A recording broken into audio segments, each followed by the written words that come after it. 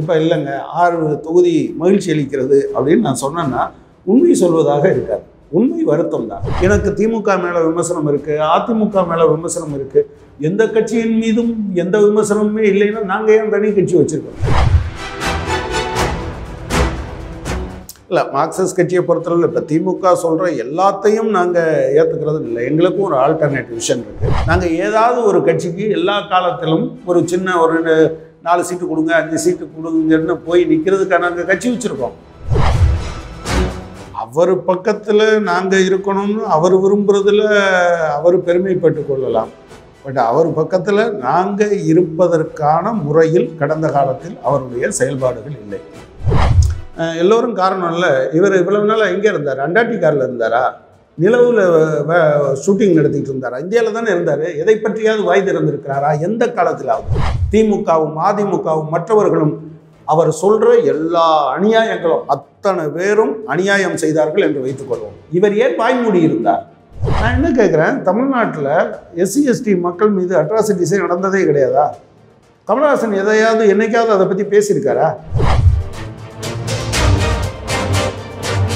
நம்ம ஊடகங்கள்லேயே இந்த சொல்லாடல்கள் ஏழைக்கு கொடுக்கிறது என்றால் இலவசம் என்று சொல்வார்கள். ஆனால் நீங்கள் பெருமுதலாளிகளுக்கு கொடுத்தா இன்சென்டிவ்னு சொல்லுவாங்க ஸ்டிமுலஸ் பேக்கேஜ்னு சொல்லுவாங்க ஃபோர்கான் ரெவன்யூஸ்னு பேர் வைப்பாங்க அதற்கு நாகரிகமான பேர் வைப்பாங்க. தமிழ்நாட்டில் இந்த கொரோனாவை பயன்படுத்தி வந்த நிதிகளை எல்லாம் தாறுமாறான விலைக்கு நிறையா எந்திரங்களை வாங்கி ஆப்ரேட் பண்ணுறதுக்கு ஆள் இல்லாமல் போட்டு வச்சிருக்கு அதிமுக அரசாங்கம்.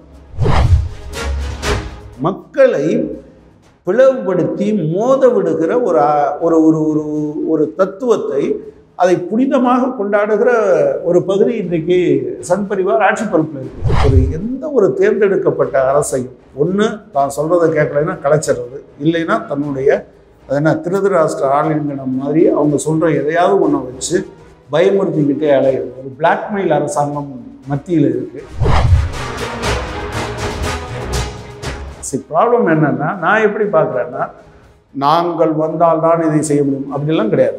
கைவசே வாங்கக்கூடாது தாலி கட்டிட்டோம் அப்படின்னு நினைக்கிற ஒரு ஆள் கிடையாது.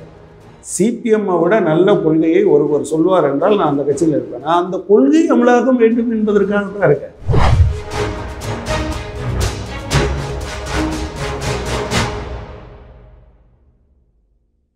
பேரலை நேயர்களுக்கு வணக்கம். திமுக கூட்டணியில் பேச்சுவார்த்தைகள் கூட்டணி பங்கீடுகள் அனைத்தும் முடிவடைந்திருக்கின்றன. கூட்டணி கட்சிகளும் தங்களுடைய பிரச்சார பயணங்களை தொடங்கவிருக்கிறார்கள். இந்நிலையில் மார்க்சிஸ்ட் கம்யூனிஸ்ட் கட்சியின் மாநில செயற்குழு உறுப்பினர் திரு. கனகராஜ் அவர்கள் கூட்டணி குறித்தும் எதிர்க்கட்சிகளின் விமர்சனங்கள் குறித்தும் உரையாடுவதற்காக நம்மோடு இணைந்திருக்கிறார். சார் வணக்கம். வணக்கம்.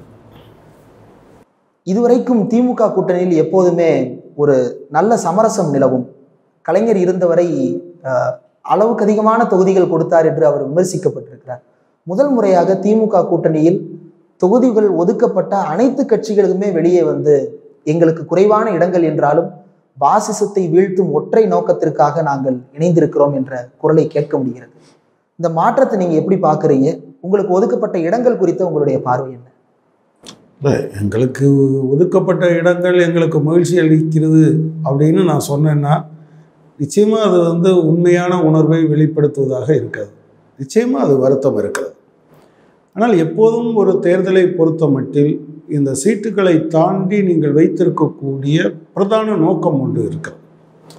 அந்த நோக்கத்தை நீங்கள் முன்வைக்கும் பொழுது இந்த வருத்தங்கள் வருத்தங்கள் இருந்தாலும் அதை வைத்துக்கொண்டே ஆனால் பிரதான நோக்கத்துக்காக நாம் ஒன்றிணைய வேண்டியது இருக்கிறது என்கிற நிலைமைக்கு வந்திருக்கிறோம். சி இதில் பேச்சுவார்த்தை நடந்திருக்கு. இப்போ ஒரு உடன்பாட்டுக்கு வந்திருக்கிறோம். இனிமே கடந்த காலத்தை பற்றி பேசுவது எந்த நியாயமும் இல்லை என்று நினைக்கிறேன். ஒரு குறுகிய காலம்தான். இந்த ஒரு மாத காலத்தை பொறுத்த அளவில் தமிழகத்தில் ஒரு தேர்ந்தெடுக்கப்பட்ட ஆட்சியாக செயல்பட முடியாத அதிமுக. அப்படி செயல்பட முடியாத அளவிற்கு அதை தன்னுடைய கைப்பிடிக்குள் இறுகி வைத்திருக்கக்கூடிய இந்தியாவில் எங்கே இருந்தாலும் மக்களை பிளவுபடுத்துகிற பாஜக. இந்த அணியை தோற்கடிப்பது என்பது ஒரு மகத்தான கடமை என்று நினைக்கிறோம். எனவே அதை பழச பழைய விஷயங்களை பேசிக்கொண்டே இருப்பது அது பொருத்தமற்றது. இந்த நோக்கத்தை நிறைவேற்றுவதற்கு உதவாது. வருத்தங்கள் இருக்கிறது எல்லா கட்சிக்கும் இருக்கிறது அதை வெளிப்படுத்தி இருக்கிறார்கள். ஆனால் அதை விட நோக்கம் முக்கியம் என்று வருகிற போது அந்த நோக்கத்தை நிறைவேற்றுவதற்கான முறையில் அடுத்த கட்ட பணிகளை துவங்க வேண்டியிருக்கு நோக்கம் முக்கியம் அப்படின்னு நீங்கள் சொல்கிறத புரிஞ்சுக்கிட முடியுது. ஆனால் தலைவர்கள் வெளிப்படையாக அதுவும் கூட்டணி தலைமையாக இருக்கக்கூடிய திமுக அறிவாலயத்தின் வாசலிலேயே நின்று எங்களுக்கு வருத்தம் இருக்கிறது ஆனாலும் ஒத்துக்கொண்டோம் அப்படின்னு சொல்கிறது அடிமட்டத்தில் பணியாற்றக்கூடிய கம்யூனிஸ்ட் கட்சி தோழர்களுக்கும் திமுக தொண்டர்களுக்கும் இடையே உராய்வை ஏற்படுத்தாதா? இல்லை தோழர்கள் அந்த மெச்சூரிட்டி இருக்குன்னு தான் நான் நினைக்கிறேன். ஒரு ஒரு இது ஒரு மிகப்பெரிய போராட்டம். இந்த போராட்டத்தில் எண்ணிக்கை பெறுவது கூட்டணி கட்சிகளுக்குள்ளேயே எண்ணிக்கையை பெறுவது எண்ணிக்கையை பெற்ற பிறகு விரும்புகிற தொகுதிகளை பெறுவது இது எல்லாமே போராட்டம் தான் ஆக்சுவலாக அப்படி இருக்கிற போது அவர்கள் இது முதல் முறையாக இந்த மாதிரியான விஷயங்களை பார்க்கல எல்லா தேர்தல் காலத்திலும் எந்த தேர்தல் காலத்தில் நாங்கள் கேட்ட தொகுதி முழுவதையும் கூட்டணி கட்சி இருந்த அது கூட்டணிக்கு தலைமை தாங்குகிற கட்சி கொடுத்துருக்கல என்ன? அப்படி எதுவும் இருந்ததில்லை. பட் இந்த தடவை கூடுதலான கட்சிகள் இருப்பதாலோ என்னவோ எல்லா கட்சிகளுக்குமே அப்படி ஒரு வருத்தம் இருந்தது என்பதை பதிவு செய்திருக்கிறார்கள். அதை மாதிரி நீங்கள் இல்லைன்னு சொன்னீங்கன்னு வச்சுக்கோங்க. இப்போ இல்லைங்க ஆறு தொகுதி மகிழ்ச்சி அளிக்கிறது அப்படின்னு நான் சொன்னேன்னா உண்மை சொல்வதாக இருக்காது. உண்மை வருத்தம் தான். ஆனால் அதை விட எந்த அரசியல் கடமை தமிழக மக்களை இந்த இரண்டு கட்சிகளுடைய பிடியில் இருந்து வெளியே எடுப்பது என்பது மிக முக்கியமான விஷயம். அதற்கு முக்கியத்துவம் கொடுத்திருக்கிறோம் அவ்வளவுதான்.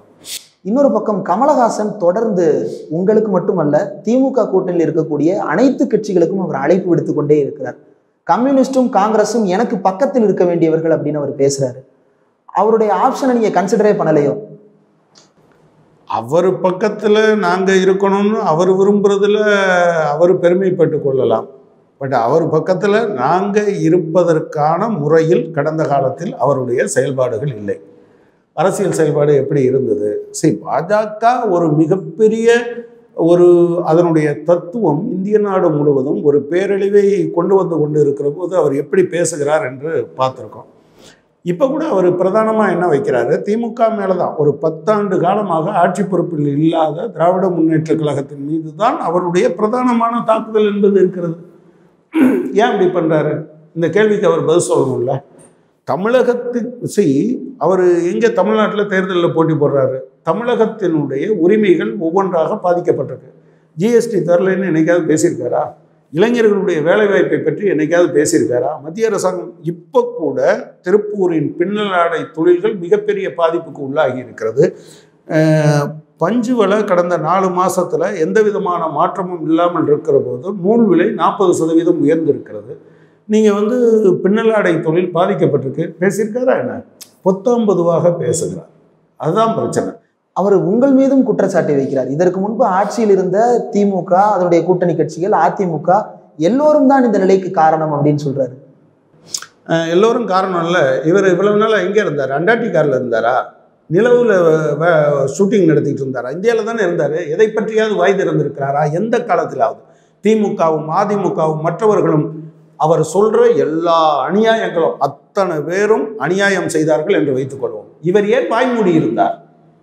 இவருக்கு என்ன வாய்மூடி இருந்தது? எனக்கு தெரிஞ்சு நான் நான் நினைக்கிறேன் சிபிஎம் இப்போ இருக்கிற ஆட்சி முறையில் நாளைக்கு தமிழகத்திலேயே நான் வந்துவிட்டால் கூட எல்லா பிரச்சனையும் மாற்றிவிட முடியும் தீர்த்து விட முடியும் பிரச்சனைகளை என்று நான் நினைக்கிறேன் சோசலிசம் சோசலிசத்திற்கான போராட்டம் அதனுடைய ஒரு கட்டத்தில் தான் அனைத்து பிரச்சனைகளும் தீர்ந்து விட முடியும் என்று நினைக்கிறேன். எனக்கு திமுக மேலே விமர்சனம் இருக்குது அதிமுக மேலே விமர்சனம் இருக்குது எந்த கட்சியின் மீதும் எந்த விமர்சனமுமே இல்லைன்னா நாங்கள் ஏன் தனி கட்சி வச்சுருக்கணும்? ஆனால் திமுக ஆட்சி பொறுப்பில் இருந்த போதும் சில பிரச்சனைகளில் நாங்கள் விமர்சனம் செய்திருக்கிறோம். அதிமுக இருந்தபோது விமர்சனம் செய்திருக்கிறோம். கமலஹாசன் அவர்கள் தமிழகத்தில் தானே இருந்தார். அவர் என்றைக்காவது நீங்கள் வந்து தேர்தல் நேரம் தவிர்த்து அல்லது நடிப்பு முடிக்கிற நேரம் தவிர ந- நடிப்பு நடித்து முடிச்சாச்சு இனிமேல் ஓய்வு என்று வருகிற நேரத்தில் தான் அவர் அரசியல் பேசுவார். ஓய்வு நேரத்தில் அரசியல் பேசுவதில்லை. நான் இப்போ முழு நேர ஊழியர். என்ன நான் வேறு எந்த தொழிலும் செய்யக்கூடாது. நான் இதற்காக என்னை அர்ப்பணித்து கொண்டிருக்கிறேன்? என்னை மாதிரியான எங்கள் கட்சியில் இருக்க பத்தாயிரத்தி ஐநூறுரூவா தான் தமிழகம் முழுவதும் அலவன்ஸு அதில் தான் வாழ்க்கை நடத்தி கொண்டு இருக்கிறோம் நான் நண்பர் கமலஹாசனிடம் கேட்பது இவ்வளவு காலமும் நீங்கள் இருந்தபோது தமிழகத்தினுடைய அடிப்படை பிரச்சனைகள் குறித்து என்றாவது பேசியிருக்கீங்களா? திடுதுப்புன்னு குதிச்சு வருவீங்களா? இது என்ன பார்ட் டைம் ஜாப்பா அல்லது ஓய்வு நேர வேலையா? கிடையாதே. இதை செய் அரசியல் என்பதை பாரதி சொன்னது மாதிரி எமக்கு தொழில் கவிதை அப்படின்னு அவர் சொன்னார். அது அது தொழில்னா சில பேர் கூட அது என்ன தொழில்னா லாபம் நட்ட கணக்கா அப்படிங்கிறது கிடையாது. அது தொழிலை நேசிக்கிற அந்த பாங்கு அதே போல் அரசியலை ஒரு மாற்றத்திற்கான கருவியாக நேசிக்கிறோம். இந்த கமல்ஹாசன் வந்தால் சரியாயிரும்.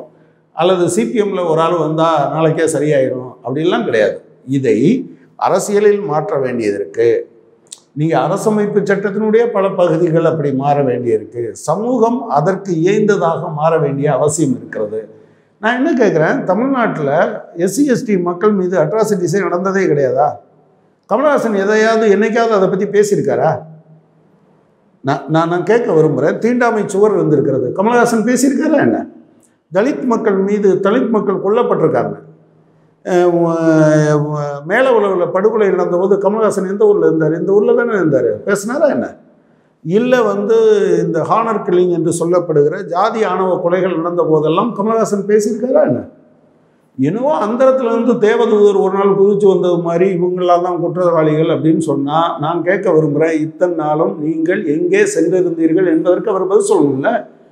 நீங்கள் எழுத்தாளர்கள் பேசுகிறாங்க சித்தார்த் மாதிரியான நடிகர்கள் பேசுகிறாங்க பிரகாஷ்ராஜ் மாதிரியான நடிகர்கள் பேசுகிறாங்க டாப்ஸி மாதிரியான நடிகைகள் பேசுகிறாங்க ஸ்வரா பாஸ்கர் மாதிரியான நடிகைகள் பேசுகிறாங்க நீங்கள் எங்கே சார் இருந்தீங்க? அரசியலுக்கு வருகிறோம் என்று சொல்வதற்கு முன்னால் நீங்கள் எங்கே இருந்தீங்க? எதன் மீது எப்போது பேசியிருக்கிறீர்கள்? அதை சொல்லுங்க பார்க்கலாம்.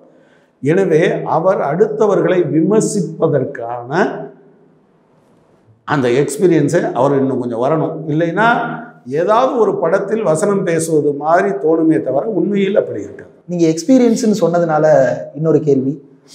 திமுக கூட்டில் இருக்கக்கூடிய விசிகாவுக்கு ஏழு தொகுதியில் ஒதுக்கப்பட்ட போது தம்பி திருமாவளவன் அப்படின்னு சொல்லி கமலஹாசன் குறிப்பிட்டார் பல்வேறு தரப்பினரும் அவர் உங்களுக்கு தம்பியா அப்படின்னு சொல்லி விமர்சனத்தை முன்வைக்கிறாங்க. இதை நீங்க எப்படி பாக்குறீங்க அவங்களுக்கு அது ஒரு பேருங்க. அவர் தம்பின்னு சொல்லட்டும் அண்ணன்னு சொல்லட்டும் என்ன வேணாலும் சொல்லிட்டு போட்டோம். அதெல்லாம் பிரச்சனை. சரி இந்த மாதிரியான பிரச்சனைகளை இப்படி தம்பி என்று சொல்வதோ அண்ணன் என்று சொல்வதோ அதெல்லாம் பிரச்சனை.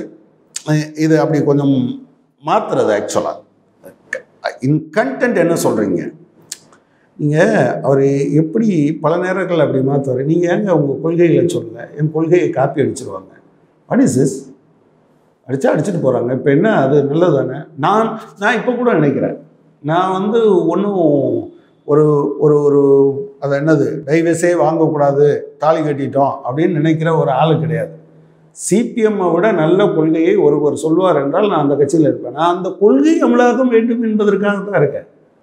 இன்றைக்கி நான் சிபிஎம்மில் இருக்கிறதுக்கான காரணம் ஓகே இன்றைக்கி வெற்றி பெறுகிறோமா இல்லையா என்பதெல்லாம் பிரச்சனை.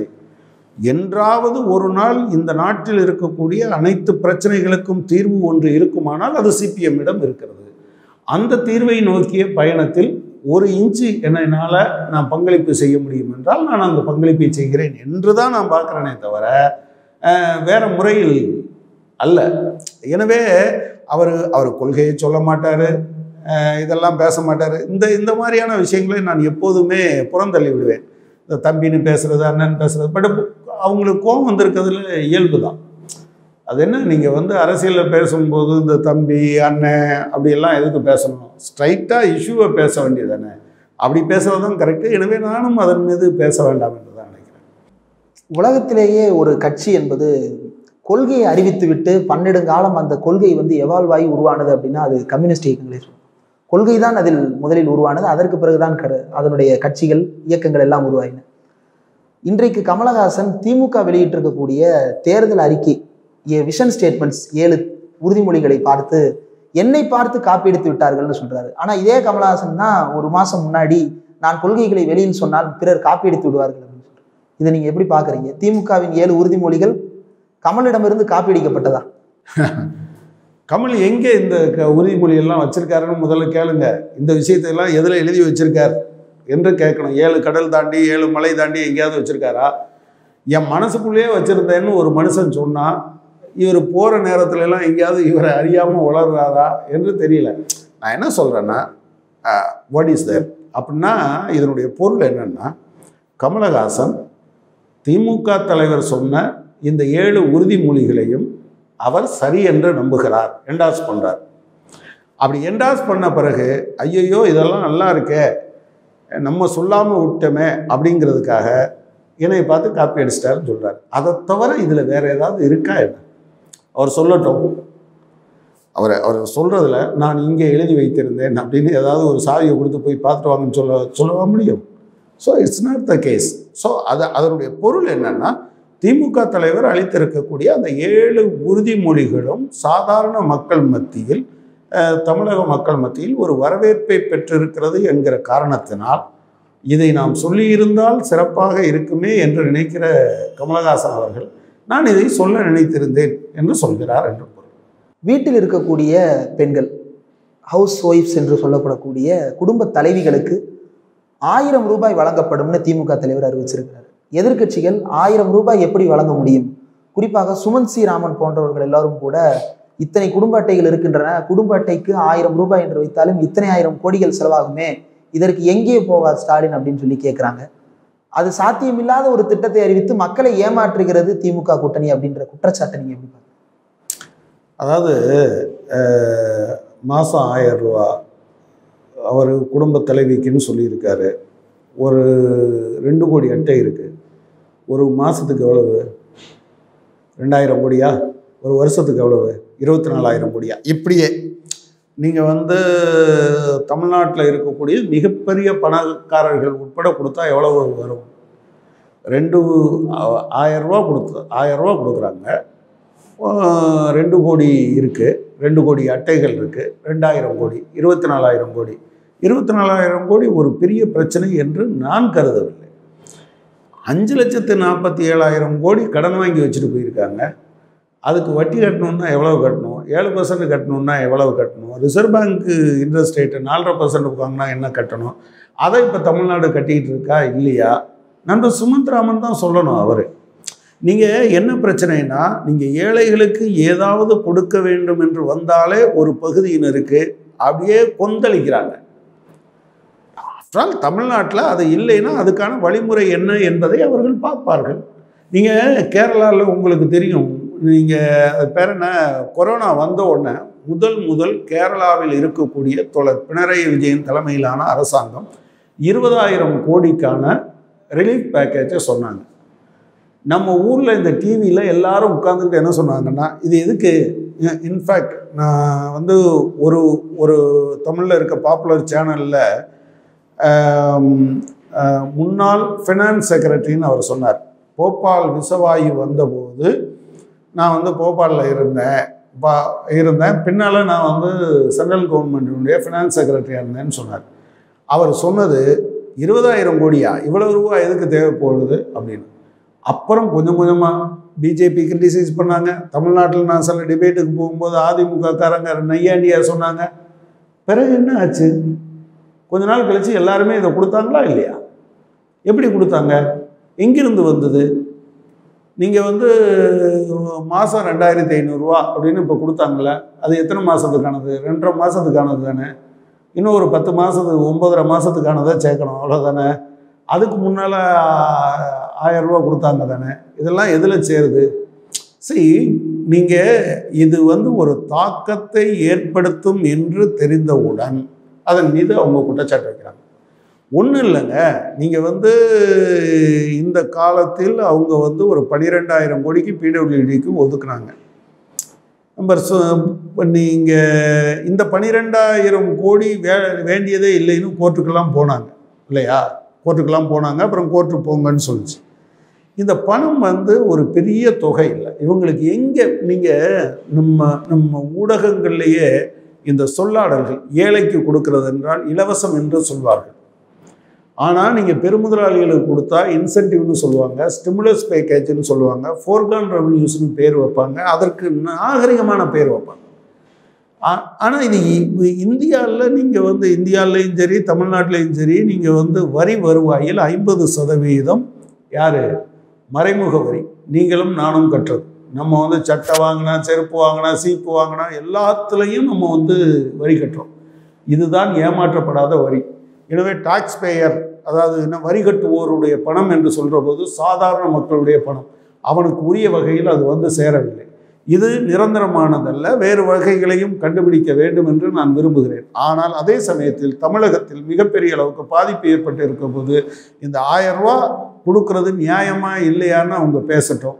முடியாதுன்னு சொன்னாங்கன்னா ஓப்பன் ஸ்டேஜில் பேசி பார்க்கலாம். வருவத் வருடத்திற்கு இருபத்தி நாலாயிரம் கோடி என்பது அவ்வளவு தவிர்க்கவே அதாவது செய்யவே முடியாத பட்ஜெட்னு அவங்க சொன்னாங்கன்னா நான் இன்னைக்கு சொல்ல விரும்புகிறேன் நீங்கள் மத்திய அரசாங்கம் இந்த மாதிரி பல தொகையை நிறுத்தி வச்சிருக்கு. அதை மீறித்தான் மாநில அரசுகள் பலது நடந்துட்டு இருக்கு எனவே அது நிறைவேற்ற முடியாதது இல்லை. இருபத்தி நாலாயிரம் கோடிங்க அவ்வளோதான் தமிழ்நாடு ஏற்கனவே ஜிஎஸ்டி வரி பாக்கி இருக்கிறது.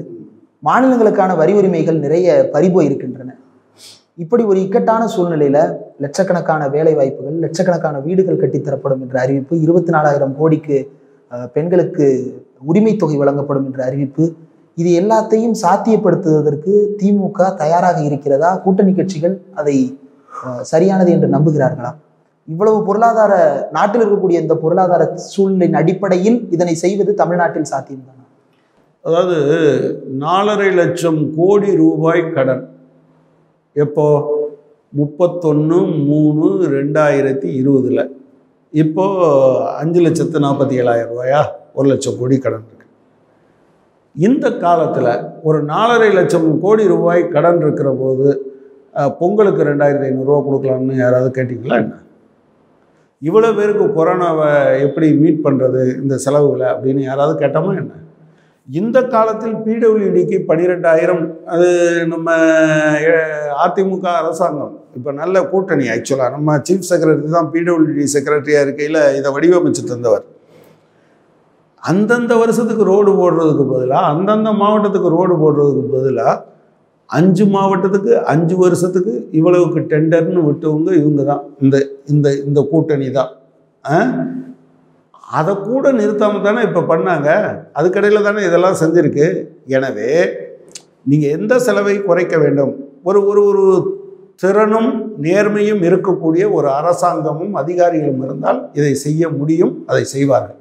இதை விட மோசமான நிதி நிலைமையில் தான் கேரளா இருந்தது. ஆனால் அவங்க தான் முதல்ல இருபதாயிரம் கோடி பேக்கேஜ் அறிவித்தாங்க மக்களுக்கு அவங்க கொடுத்துருக்க கொரோனாவுக்கு கொடுத்துருக்க கிட்டு வந்து பல பேர் பார்த்து பொறாமைப்படுகிற அளவில் இருக்குது அதெல்லாம் ஒன்றும் பிரச்சனை இல்லை. மாநில அரசுகள் நினைத்தால் அதை செய்வதற்கான உரிய முறையில் தேடுவாங்க. இன்னொரு பக்கத்தில் இங்கே இப்போ ப்ளீச்சிங் பவுடர் ஏழு மடங்கு விலைக்கு வாங்கினாங்க. அப்படியெல்லாம் வாங்காமல் ஒழுங்காக வாங்கினா இன்னும் எவ்வளவோ சேமிக்க முடியும். தமிழ்நாட்டில் இந்த கொரோனாவை பயன்படுத்தி வந்த நிதிகளை எல்லாம் தாறுமாறான விலைக்கு நிறையா எந்திரங்களை வாங்கி ஆப்ரேட் பண்ணுறதுக்கு ஆள் இல்லாமல் போட்டு வச்சிருக்கு அதிமுக அரசாங்கம். நீங்கள் இதையெல்லாம் மறைக்கிறதுக்காக அதை எப்படி டிஃபெண்ட் பண்ணுறதுன்னு பார்க்குறதுக்காக வேறு வழிமுறையில் சொல்லிக்கிட்டு இருக்காங்க. அவ்வளோதானே தவிர அதுக்கு வாய்ப்பு இருக்குது கூட்டணி பேச்சுவார்த்தைகள் எல்லாம் முடிந்து விட்டன. அடுத்ததாக பிரச்சாரம் தான் பாக்கி. இன்னும் ஒரு மாதத்தில் தேர்தல் வர இருக்கிறது. மார்க்சிஸ்ட் கட்சியினுடைய தேர்தல் பிரச்சாரம் எப்படி இருக்க போகிறது? இல்லை மார்க்சிஸ்ட் கட்சியை பொறுத்தளவில் இப்போ திமுக சொல்கிற எல்லாத்தையும் நாங்கள் ஏற்றுக்கிறது இல்லை. எங்களுக்கும் ஒரு ஆல்டர்னேட்டிவ் விஷன் இருக்குது அநேகமாக ஒரு த்ரீ ஆர் ஃபோர் டேஸில் தமிழகத்தை மாற்றுவதற்கான ஏற்பாடு என்ன என்பதை முன்வைக்க போகிறோம் ஆறு தொகுதியில் நின்று நீங்கள் மாற்றுறதுக்கு என்ன பண்ண போகிறீங்க அப்படிங்கிறது இல்லை. நீங்கள் நாங்கள் என்னைக்கு ஆட்சிக்கு வர்றோமோ அன்னைக்கு தமிழ்நாட்டை பற்றி. சரி ஒரு மாநிலம் என்றால் மாநிலத்தினுடைய உரிமை என்ன இருக்குது எதுக்குங்க தமிழ்நாட்டில் ஒரு சரி நம்ம கவர்னரே வேணான்றோம். ஆனால் கவர்னர் தான் தமிழ்நாட்டில் இருக்கக்கூடிய எல்லா பல்கலைக்கழகத்திற்கும் அவர் வேந்தர். எதுக்கு அவர் வேந்தராக இருக்கணும்னு கேட்குறேன் தமிழ்நாட்டில் ஒரு தேர்ந்தெடுக்கப்பட்ட ஒரு அரசாங்கம் இருக்குது அப்போது இப்போ இருக்கக்கூடிய மிக பிரதான பிரச்சனை மத்திய அரசுக்கும் மாநில அரசுக்கும் இடையிலான பிரச்சனையாக இருக்குது அதிகாரங்களை எல்லாம் எடுத்துக்கொள்கிறார்கள். பொதுப்பட்டியலில் இருக்கிறத எல்லாம் அவங்க வந்து அவங்க பட்டியலுக்கு கொண்டு போயிடுறாங்க. மாநில பட்டியலில் இருக்கிறத பற்றி அவங்க கவலைப்பட மாட்டேன்றாங்க. மாநில உரிமைகள் தாக்குதலுக்கு உள்ளாகி இருக்குது இப்போ தமிழ்நாடு அரசாங்கம் அநேகமாக ஓபிஎஸ் அந்த பட்ஜெட்டில் சொல்லியிருக்கிறதெல்லாம் பார்த்தீங்கன்னா எங்களுக்கு வந்து இப்போ நிதிக்குழு சொன்னதை நீங்கள் தரலை. ஜிஎஸ்டி பாக்கி வச்சுருக்கீங்க. ஐஜிஎஸ்டி ரெண்டாயிரத்தி பதினேழு பதினெட்டில் இருக்க நாலாயிரத்தி சுச்சம் கோடி எங்களுக்கு கொடுக்கல. வருவாய் பற்றாக்குறை நிதிக்குழு சொன்னதை எங்களுக்கு கொடுக்கல. நீங்கள் வந்து உள்ளாட்சி அமைப்புகளுக்கான கிராண்டை நீங்கள் பெருமளவுக்கு குறைச்சி வச்சுருக்கீங்க. எல்லாத்தையும் டைடு ஃபண்ட் ஒரு அதை என்ன சொல்லுது நிபந்தனையுடன் கூடிய நிதிகளாக கொடுக்குறீங்க. இப்போ உதாரணமாக ஒரு குறிப்பிட்ட ஊர் கிராமப்புற ஊராட்சிகளுக்கு ஆயிரம் கோடினா நான் இரநூத்தம்பது கோடி செலவழிக்கணும்னா இருபத்தஞ்சி பர்சன்ட் செலவழிக்கணும்னா இந்த இரநூத்தம்பது கோடி என்கிட்ட இல்லைன்னா இந்த ஆயிரம் கோடியே வராது. நீங்கள் அது வெறும் காற்றில் எழுதியது மாதிரி தானே தவிர பணமாக இருக்காது. இந்த மாதிரிலாம் சொல்கிறாங்க எனவே மாநில உரிமைகள் என்பது மிக மிக முக்கியமானது. மூன்றாவது மக்களிடம் பணப்புழக்கம் என்பது அவசியம். இப்போ ஜோ பைடன் வந்த பிறகு அமெரிக்காவில் என்ன சொல்லியிருக்காங்க? ஒரு லட்ச ரூபா மாதத்துக்கு குடும்பத்துக்கு கொடுக்கணும்னு சொல்லியிருக்காங்க. எதுக்கு ஒரு லட்ச ரூபா கொடுக்குறாங்க?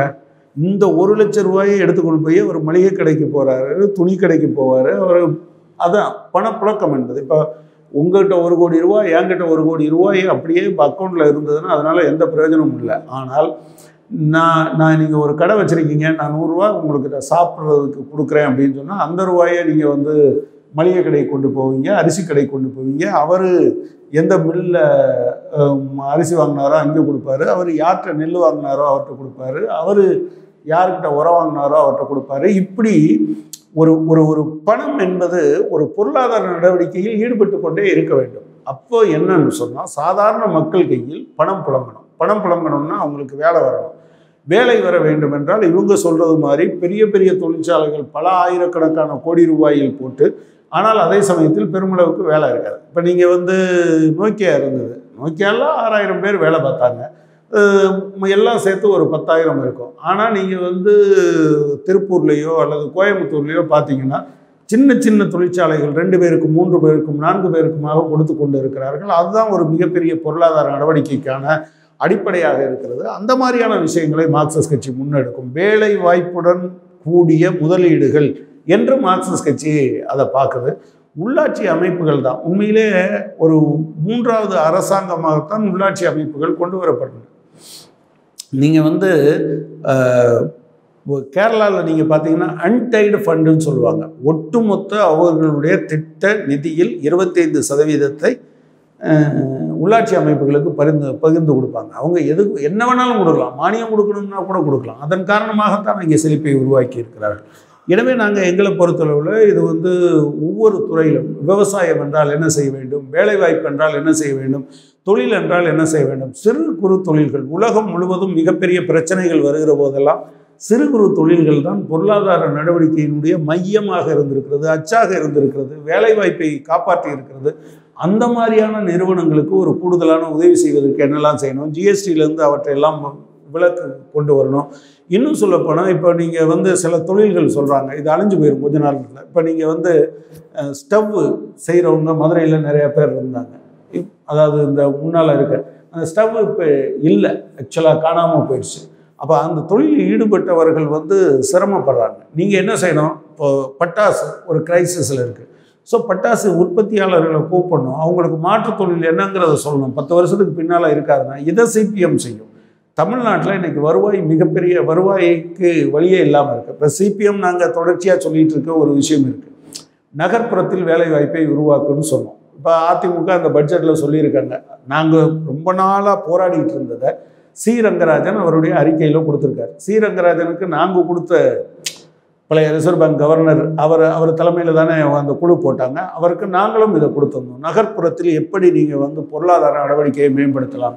அதை ஏற்றுக்கிட்டு இருக்காரு. தமிழக அரசாங்கமும் ஏற்றுக்கிட்டு இருக்கு. அதை நடைமுறைப்படுத்து என்று சொல்லுவோம் நீங்கள் இப்போ தமிழ்நாடு அரசாங்கத்துக்கிட்ட பணம் இல்லை. நீங்கள் வந்து சகாயம் அறிக்கை ஒரு லட்சத்து ஏழாயிரம் கோடி ரூபாய் பணம் அந்த ஏற்கனவே அந்த கிரானைட்டுக்கு சம்மந்தப்பட்டவங்க கொடுக்காம இருக்காங்கன்னு எப்போ வந்தது? ரெண்டாயிரத்தி பதினஞ்சில் அறிக்கை தாக்கல் பண்ணியாச்சு. இந்த அரசாங்கம் சும்மா உட்காந்துருக்கு கோர்ட்டும் அந்த அறிக்கையை வெளியிடலை. அந்த ஒரு லட்சத்து ஏழாயிரம் கோடியை நீங்கள் வந்து வசூல் பண்ணீங்கன்னா எவ்வளோ பெரிய மாற்றத்தை கொண்டு வர முடியும்? கிரானைட்டு நீங்கள் ஏன் தனியாராக தடை பண்ணிட்டீங்க? டேமின் இருக்குல்ல தமிழ்நாடு அரசாங்கத்தினுடைய நிறுவனம் தானே வேலைவாய்ப்பு கொடுக்க முடியும். தமிழ்நாட்டினுடைய கிரானைட் இதை வந்து நீங்கள் வந்து சுற்றுச்சூழலுக்கு பாதிப்பு இல்லாமல் எடுக்க முடியும். நீங்கள் கிரானைட்டு கிடைக்கும் வேலைவாய்ப்பு கிடைக்கும் அந்நிய செலாவணி ஈட்ட முடியும். இதை ஏன் செய்யக்கூடாது? தாது மணலில் நிறுத்தியாச்சு. ஏன் தாது மணலில் அரசாங்கம் எடுத்து அதே வேலையை பண்ணக்கூடாதா? ஸோ நீங்கள் வருவாய்க்கு என்ன வழி என்பதை அரசிடம் சொல்வதற்கான ஏற்பாடு. இப்போ நாங்கள் அதை முன்வைத்து மக்களிடம் பேசப்போகிறோம் கல்வி எப்படி இருக்கணும்? வேலை வாய்ப்பை எப்படி உருவாக்க வேண்டும்? விவசாயத்தை எப்படி உருவாக்க வேண்டும்? சிறு குறு தொழில்களை எப்படி வைக்க வேண்டும் என்று. எங்கே தேர்தல் அறிக்கை வருகிற போது அதன் மூலமாக மக்களிடம் அதை நான் தான் செய்யணும்னு அவசியம் இல்லை. சி ப்ராப்ளம் என்னென்னா நான் எப்படி பார்க்குறேன்னா நாங்கள் வந்தால்தான் இதை செய்ய முடியும். அப்படிலாம் கிடையாது. பல விஷயங்கள் நாங்கள் போராடி இப்போ நீங்கள் நூறு நாள் வேலை கிராமப்புறம் ஆக்சுவலாக யூபிஏ கவர்மெண்ட்டில் வந்ததுன்னு அவங்க பேசிப்பாங்க. ஆனால் நாங்கள் கொண்டு வந்தது உள்ளதை சொல்லப்போனால் அப்போ மன்மோகன் சிங் அதை எதிர்த்தார். மாண்டக் சிங் அலுவலியாக எதிர்த்தார். திருமதி சோனியா காந்தி அவர்கள் தான் காங்கிரஸ் தலைவர் யூபிஏ சேர்மனாக அவங்க இருந்தாங்க. அவங்க என்ன சொன்னாங்க? ரைட்டு இது கிராமப்புறத்தில் பொருளாதார வளர்ச்சிக்கு அது உதவும் என்று சொன்னார். நீங்கள் இப்போ கொரோனா வந்தபோது அதுக்கு முன்னால் நரேந்திர மோடி அவர்கள் என்ன சொன்னார் அப்படின்னு சொன்னால் இது ஹிஸ்டாரிக் பிளண்டர்னாரு ஆனால் அதுதான் உங்கள் பொருளாதாரத்தை இந்த காலத்தில் தூக்கி நிறுத்துச்சு ஆக்சுவலாக நீங்கள் பணம் கொடுப்பது என்பது வெறும் பணம் கொடுப்பதல்ல. ஒரு பொருளாதார நடவடிக்கையை ஊக்குவிப்பது. அந்த ஆங்கிலிருந்து தான் பார்க்க முடியும். இதை கம்யூனிஸ்டுகள் பல நேரங்களில் நாங்கள் சொல்லியிருக்கோம். அதை பலரும் அமல்படுத்தியிருக்காங்க.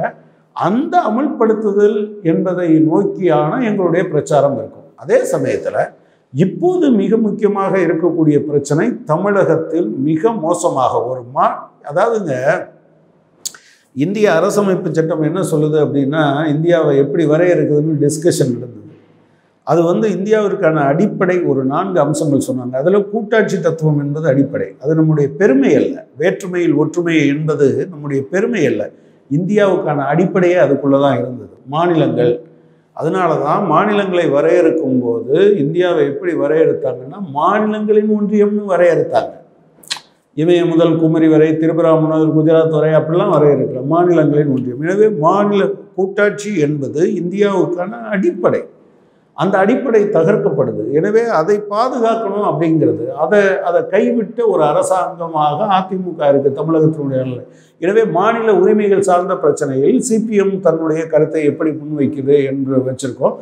அதே போல் ஒரு மாநில அரசை ஒரு எந்த ஒரு தேர்ந்தெடுக்கப்பட்ட அரசையும் ஒன்று தான் சொல்கிறத கேட்கலைன்னா கலைச்சிடுறது. இல்லைன்னா தன்னுடைய அது என்ன திருதராஷ்டிர ஆலிங்கனம் மாதிரி அவங்க சொல்கிற எதையாவது ஒன்றை வச்சு பயமுறுத்திக்கிட்டே அலையிறது. ஒரு பிளாக்மெயில் அரசாங்கம் மத்தியில் இருக்குது அது எல்லாத்தையும் பிளாக்மெயில் பண்ணுது. அது அவங்க பண்ண பிளாக்மெயிலுக்கு அதிமுக அடங்கி போயிருக்கிறது. நீங்கள் பினராயி விஜயன் மேலே சார்ஜ் ஷீட் போட்டோன்னே அவர் என்ன சொன்னார்? எல்லாத்தையும் ஆடுறது மாதிரி என்கிட்ட ஆடுறியா? இதெல்லாம் எங்கள் மக்களுக்கும் தெரியும். நானும் கரைபடாதவன். சந்திப்பவா வா அப்படின்னு சொல்கிறாரு அப்படி சொல்கிறதுக்கான தார்மீக தைரியம் இவங்ககிட்ட இல்லை. அதன் காரணமாக இருக்க அரசாங்கம். இதனால் தமிழகத்தின் நலன் பாதி நீங்கள் பாதிக்கப்பட்டிருக்கு. ரெண்டாயிரத்தி பதினேழு பதினெட்டில் இருந்து தமிழ்நாட்டுக்கு தர வேண்டிய ஐஜிஎஸ்டியில் நாலாயிரத்தி இருபத்தஞ்சு கோடி ரூபா கொடுக்கல அப்படின்னு எத்தனை வருஷம் ஓபிஎஸ் ஒப்பாரி மட்டும் ஒப்பார் ஏன் கொடுக்கல?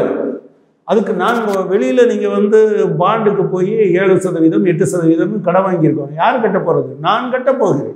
என்னுடைய உரிமையை என்னுடைய காசை எடுத்து வைத்து கொண்டு இருக்கக்கூடிய மத்திய அரசிடம் கேட்காத ஒரு மாநில அரசு அதை கொடுக்க விரும்பாத மத்திய அரசு இதற்கு எதிரான போராட்டத்தை நடத்தணுமா இல்லையா? மக்களை பிளவுபடுத்துறாங்க.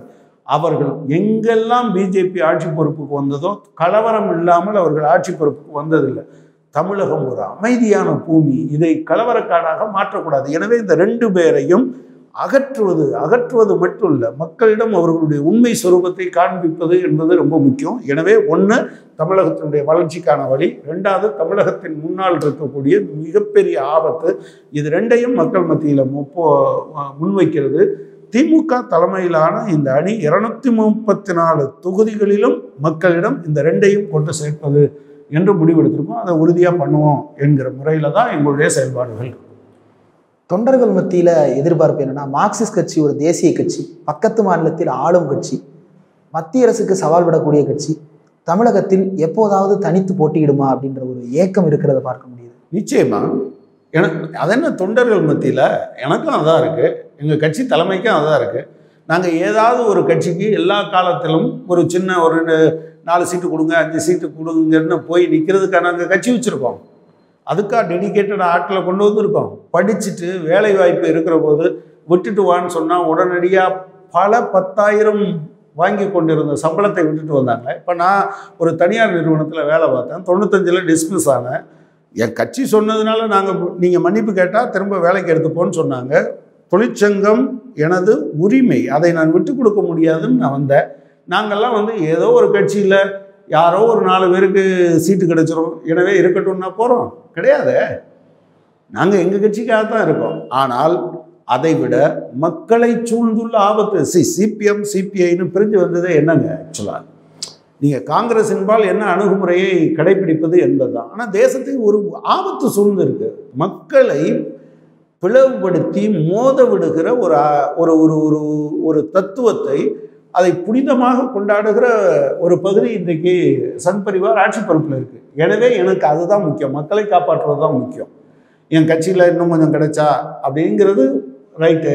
நான் தனியாக ஆட்சி பொறுப்புக்கு வந்தால் நல்லது தான் அதில் எனக்கு ஒன்றும் சந்தேகம் இல்லை. நான் இப்போதும் சொல்லுகிறேன். எல்லாவற்றையும் விட்டுவிட்டு தன்னுடைய குடும்பம் குழந்தைகளை எல்லாம் விட்டுவிட்டு தன்னுடைய வாழ்க்கை முழுவதையும் அர்ப்பணித்திருக்கிற இந்த ஊழியர்கள் வெறுமனே ஒரு ஒரு ஒரு கவுன்சிலருக்கோ எம்எல்ஏவுக்கோ இருக்கணுங்கிறதுக்காக வந்தவங்க இல்லை. சாதாரண மக்களுடைய எல்லா மக்களுடைய பட்டினியையும் தீர்த்து விட முடியும் பிரச்சனையையும் தீர்த்து விட முடியும் என்பதற்காக வந்தவர்கள்.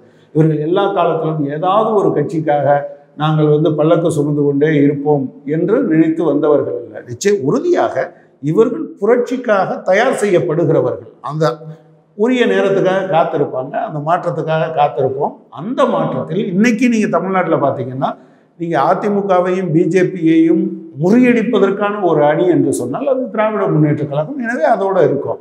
அவ்வளோதானே தவிர மற்றபடி நீங்கள் வந்து எல்லா காலத்திலும் ஏதாவது ஒரு கட்சிக்காக அப்படி இல்லை. நிச்சயமாக சிபிஎம்மை பொறுத்தளவில் அது இந்தியாவில் ஒரு புரட்சிக்கான மக்கள் ஜனநாயக புரட்சியை நடத்தும். அதுதான் பொருளாதார ஏற்றத்தாழ்வு சமூக ஏற்றத்தாழ்வு இவற்றையெல்லாம் நீக்கிய ஒரு அனைவருக்குமான இந்தியாவை உருவாக்கும் அந்த உருவாக்கத்தில் தங்களை அர்ப்பணித்து கொண்டிருக்கிறவர்கள் கம்யூனிஸ்டுகள் அந்த காலம் வரும் வரை. அதற்கான சக்தி இல்லாத போது இதில் அடுத்த அடி முன்னேறி வைக்கிறதுக்கு யார் கிடைச்சாலும் சரி அவர்களோடு இணைந்திருக்கிறோம் என்பதை தவிர வேற ஒன்றும் கிடையாது. ஆனால் இவங்களுக்கெல்லாம் தெரியும். இவங்க எல்லாம் அதை அதை- அதை ஏற்றுக்கிட்டு தான் வந்திருக்காங்க. நிச்சயமாக நீங்கள் எங்கள் கட்சியில் சாதாரண கிளையில் இருக்கக்கூடிய உறுப்பினரை போய் கேட்டிங்கன்னா கூட உங்கள் கட்சி என்ன திட்டம் வச்சுருக்குன்னு அந்த திட்டத்தை சொல்லுவார். அந்த திட்டம் தான் இந்த எல்லா விதமான ஏற்ற இறக்கங்கள். நான் ஆரம்பத்தில் சொன்ன கோபம் இருக்கிறது. ஆனாலும் கூட அந்த திட்டத்தை நோக்கிய பயணத்தில் இடையில் நிற்கிற இந்த பிஜேபியை இதை எதிர்கொள்வது எப்படி அப்படின்னு அவர் நினைக்கிறதுனால தான் அவர் இதற்கு ஒத்துக்கொள்கிறார். இல்லைன்னா அவர் ரிவோல்ட் பண்ணுறவராக தான் இருப்பார். எனவே அவர் இதை புரிந்து கொண்டு தான் இருக்கிறார். இதில் வந்து எந்த கட்சியாக இருந்தாலும் உங்களுக்கு சீட்டை குறைக்கணும்னு தான் பார்ப்பாங்க. இப்போ நீங்கள் அப்போ அந்த அதில் வருத்தம் அவருக்கு இருக்கத்தான் செய்யும். ஆனால் அவருடைய நோக்கம் இந்த சீட்டு மட்டும் இல்லை. அதை அடுத்த ஒரு கட்ட போராட்டம். அதற்காக தயாரானவர் அவர். எனவே இந்த கோபங்கள் வந்த நேரத்தில் கொஞ்சம் அப்புறம் தூக்கி வச்சுட்டு இயல்பான வேலைக்கு வந்து கிட்டத்தட்ட மார்க்சிஸ்ட் கட்சி நான்கு நாட்களில் வெளியிடக்கூடிய அந்த அறிக்கையை ஒட்டுமொத்தமாக நீங்கள் போன கேள்வியிலேயே பதிலாக சொல்லியிருக்கிறீர்கள் என்று நினைக்கிறேன். உங்களுடைய ஆதங்கம் வருத்தம் எல்லாவற்றையும் தாண்டி உங்களுடைய நல்ல நோக்கங்கள் அனைத்தும் அடுத்து அமையக்கூடிய மாற்றத்தில் நிகழ வேண்டும் என்று வாழ்த்துக்களோடு இந்த நன்றி. நன்றி.